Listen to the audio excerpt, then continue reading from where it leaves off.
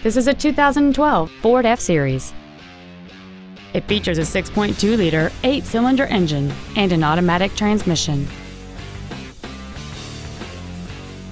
All of the following features are included. Alloy wheels, traction control and stability control systems, cruise control, a CD player, front side impact airbags, air conditioning, full power accessories, four-wheel disc brakes with an anti-lock braking system, a keyless entry system, and this vehicle has fewer than 14,000 miles on the odometer. Please call us today for more information on this great vehicle.